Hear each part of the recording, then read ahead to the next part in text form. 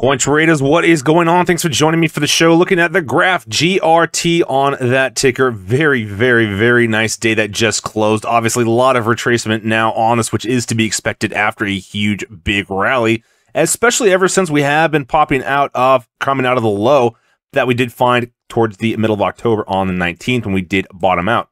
And now, if you have been following the channel for a little bit or over on Twitter or X at coin underscore trades is the handle, we were talking about a longer term falling wedge pattern for the Graph GRT token. So, as we can see, we were looking at a very big long falling wedge ever since this initial pump back at the start of February. So, just a very, very long period of a falling wedge, which did mean a, a big explosive breakout was coming as we can see, just got confirmed, and now we are basically about 100% in just a little over a couple of weeks here. Now, one of the things about GRT too is that the graph on their Twitter or their X did have a post about marking their calendars November 7th. So that is coming up tomorrow, and we are supposed to be anticipating a new big announcement. So we do have a lot of hype buying coming in prior to that. So that's one of the big reasons why we did have such an explosive pump and we did have the graph GRT outperforming a lot of the rest of the crypto space, which was a little bit more steady, still very constant, nice gains for the rest of the altcoin space. Yet, meanwhile, if we go ahead and take a look over at Bitcoin, you can see that we are still in a little bit of this uptrend formation, but just like we have seen before many times on these type of moves, we can still rally, maintain an uptrend formation, then ultimately we do pull back. So we do see this several times, and even though we sometimes might not necessarily pull back immediately, we still have an overall general price trend to the upside before finally pulling back. So we do see this time and time again, and especially right now. So we have these nice, big, massive pumps, and then it's kind of a lot of uncertainty what's going to happen. And that kind of is what leads to a lot of these periods where ultimately I do expect a longer term pullback and retracement, probably down to the $31,000 $32,000 level. Because from right now, it's not necessarily that likely that we just see another big leg of upside. And especially looking at the daily RSI, you can see that we have been extremely overbought lately. Just kind of like we were coming off of the start of the year. Similar, very similar type pattern. Big move to the upside, a little period of consolidation, allowing this RSI to cool off before ultimately one little pump and then a pullback and retracement. So I do think that is something that we could potentially be looking at right now or we could be pulling back, retracing, still seeing a little bit of upside gains before finally finding this pump and pulling back. And so how does this all play out with GRT, the graph? Well, essentially, we know that we are already starting to peak out with a lot of the rest of the cryptos right now. And though we could still go higher, we do still have to anticipate the very likely potential of a rollover and actually pull back to test some of these higher support levels. So what this means for GRT is that essentially if we go ahead and talk about this explosive move, well, we do know that a lot of buying the hype is going to happen. So we could potentially anticipate a much greater sell-off on top of what we have seen so far. And honestly, every single time we have seen basically the similar setup where we do get extremely huge pumps, extremely huge pumps, extremely huge pumps, we do see pretty quick retracements on all of this price action. So even back during the move after the summer, where we actually had a very nice rally to the upside, pretty quick retracement and pullback over the next few days.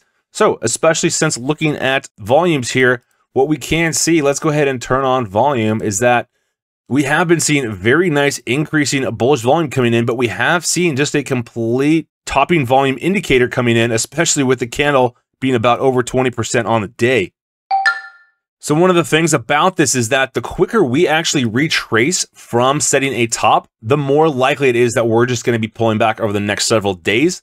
Because typically what we like to see after these big moves is the candles more or less to be very closely centered around the top, which essentially allows for the following candles to kind of provide another continuation follow on, or at least provide a little bit more longer term opportunity to enter either a pennant type consolidation format or if that doesn't end up playing out, then we could also be looking at a potential for a type of bull flag. But especially we know that with such a big explosive move over a couple of weeks that this is typically not sustainable without a lot, a lot, a lot of news driven catalysts. And obviously with the big announcement over here on Twitter, we do have a lot of anticipation and excitement coming in for what's anticipated for the graph right now. And especially combined with a lot of solid price action, that's the biggest reason that we have been getting outperformance of the market right now.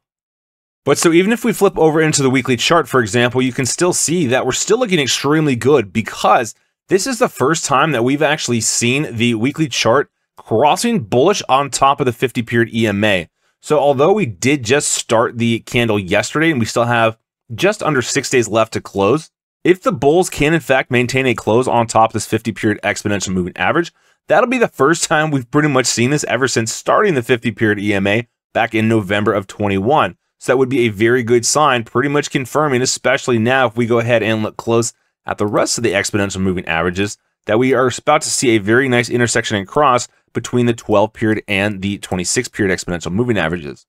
So we've really only seen this happen one other time, and that was coming off the start of the year. But also with that, we had the 12 and 26 not get anywhere close. So we still had a very big gap, which now we are actually starting to close, which is a very nice bottoming signal to let us know that a lot of upside potential would be coming in the event we do find that nice bullish flip on the exponential moving averages. In addition, if we actually look at the weekly candle volume that just closed, we're looking at 312.286 million for this candle, which found very nice support on top of 26, yet finding resistance on top below the 50 period EMA. But comparing volumes to what we see, we actually haven't seen this much bullish volume coming in since the week of 13 March in the candle that actually provided a little bit of reprieve on top the 12 and 26s. But obviously, all of that was dwarfed by the initial candle that we found coming off of the start of the year rally.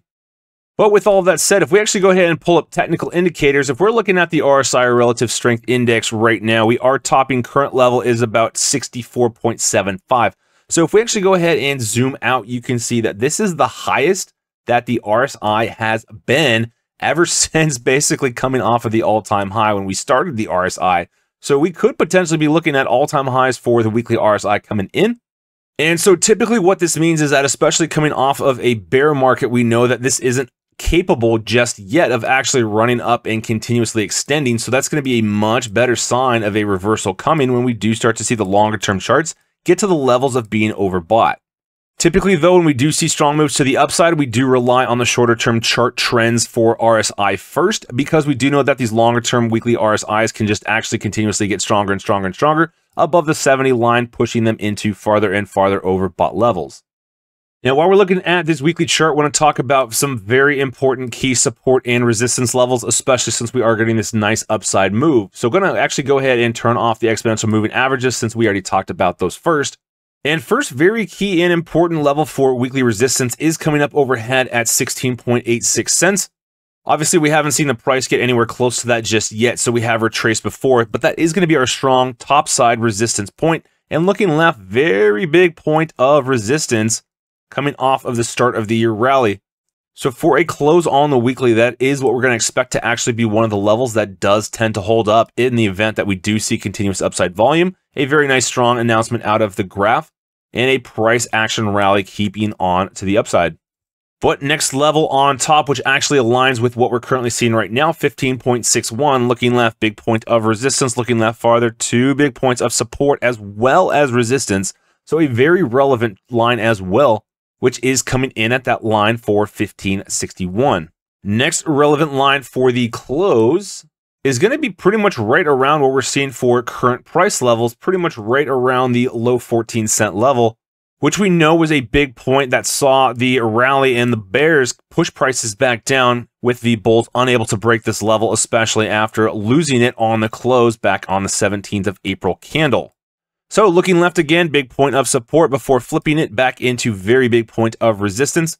So especially since we're at right this level right now on the current weekly candle, this is one of the signs that we're going to be looking for on the current to see whether or not we can cross and maintain a close on top of 1406. Now supports to the downside though, first big one's going to be at 1263. So in the event we do start to pull back a little bit more, we will be looking to maintain a close on top of that. Now it is potential that we could actually see prices slipping below it in the short term. And then we would love to see a lower shadow with the bulls buying up that dip to make sure that this weekly candle does close on top of 1263. Thankfully, though, plenty of nice strong support points below coming in at 1263. I'm sorry, coming in at 1192, and then also right below that at 1156. Should we see anything below that come in, then we would be looking down to a low side support level of about 942 or 9.42 cents. And so we know that this is a big point of resistance as well as support looking left support, big point of support as well. So the good thing about this though is that even if we do start to see a pullback over the coming weeks, this would actually be a very nice level to be able to back test this trend line and actually be able to find support on top of that because that would still put us very nicely shaping up to maintain this higher low on top of a low of 7.65 cents. So if we actually look at a Fibonacci level for a retracement though, then essentially we would be looking at pulling back, trying to maintain strong support between the 61.8 and 50% retracements, because that is the point in which we would actually align with a lot of these previous points of resistance as well as the previous points of support. Additionally, down to the 61.8 or the or excuse me, the 50% retracement level, that would be an ideal scenario to help confirm the strength of this move, especially if we do enter a little bit more of weekly consolidation before pushing back to the upside, breaking a lot of the resistance points that we just talked about. Now, do you want to look at the two-day chart right now? Pull up the RSI again as well, because you can see every single time we do have these type of moves, very quick spikes on the RSI, which do lead to pretty quick retracements and very substantial retracement candles on this two-day chart. So on the current, especially since we are pulling back, very big retracement as well. So expecting this to play out a little bit more. So zooming out, we can see that we've actually only got to this level one other time, and that was coming right off the launch back in February of 2021 when we did have GRT come in at our all-time high. So doing a flip over into the 15 minute chart since we are kind of more on the shorter term chart side right now for crypto and especially because I do want to talk about just the sell off that we are seeing for GRT after coming in at this high. So you might have heard these the phrase take the stairs up and the elevator down. That's pretty much what we're seeing. And the thing about this is that you can see in just two of these 15 minute candles, we wiped out essentially a big chunk of the gains. So if we actually go ahead and look at the amount of candles that we did knock out on this quick little short flush, we were actually looking at about 14 candles worth of on this 15 minute chart here. So just to be able to see that much of a flush wiping out 14 candles of strong upside, and keep in mind too, this is when we were actually getting some of the strongest bull volume that we have seen as we did enter the final leg of upside. So such a quick flush, especially on decreasing bearish volume, has helped signal that this is the top that is in for the shorter term. And now we're going to look to establish a support and consolidation on some of the longer term charts. So that is the expectation right now, so probably not too much exciting unless this announcement does end up favoring a very nice strong bullish catalyst for buying. But I do think a lot of the upside and hype has come in and probably will be a sell the news type of event coming in tomorrow. And we probably will see a substantial sell off and flush once the announcement is actually made, unless it actually is a extremely bullish announcement like some people could be potentially anticipating. In which case, once that announcement actually hits, then I would expect a very another strong move of upside. But uh, yeah, for now, that's not the expectation, and we will see it come tomorrow. Would definitely love to hear everyone's thoughts and predictions down in the comment sections below and get back to you all there.